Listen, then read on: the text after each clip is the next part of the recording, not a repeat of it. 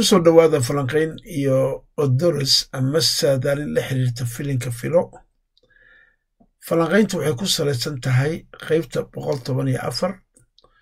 Saadaalintan waxay ku salaysan tahay qeybta boqol toban iyo shan. Sidaan hore u soo aragnay kooxdii shuftada ahayd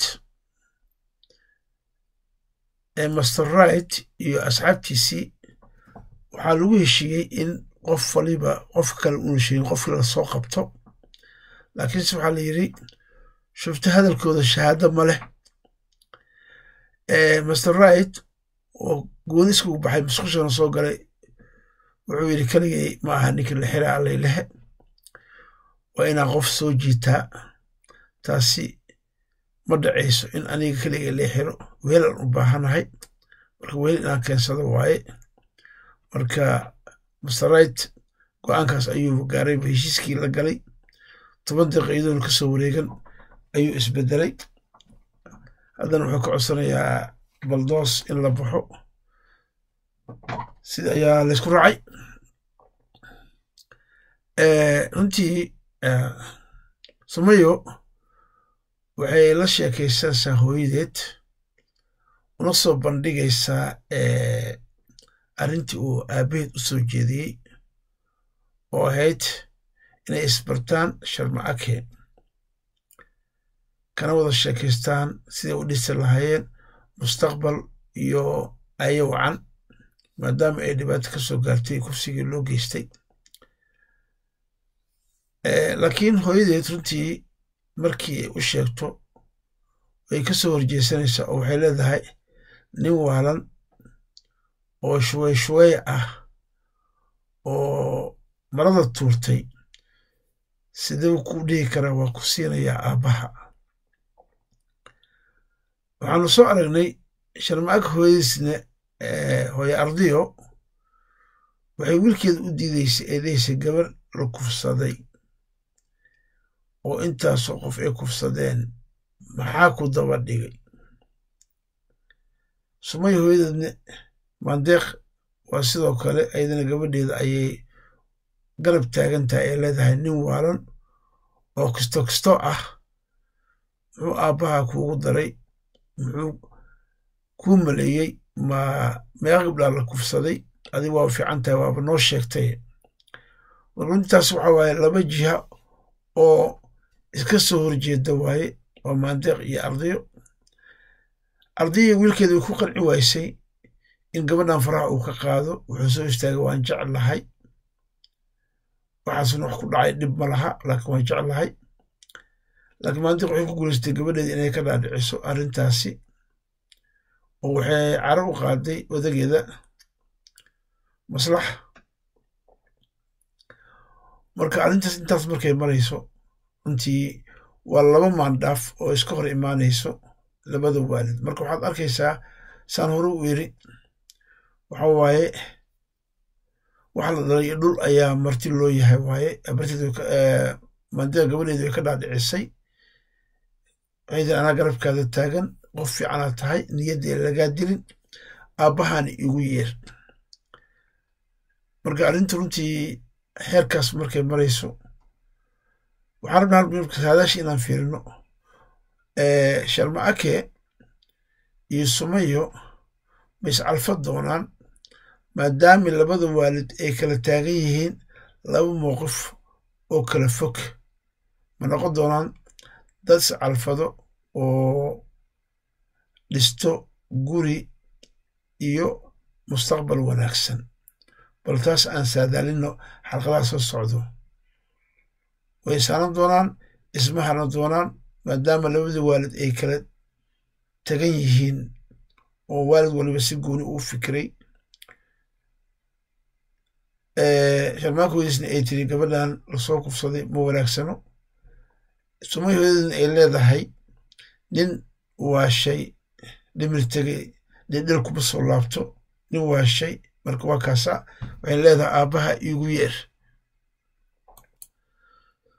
sabriin waxay ku dhiirigelin ku dhiiranaysaa inay u sheegto xiriirkeedii cusbaa iyo wiilkay isbarteen adeerkeed cabduqaadir oo runtii ay leedahay adeer wiilkii aan kuu sheegay oo hore ma xasuustaa wiilkii aan go'aan gaarnay.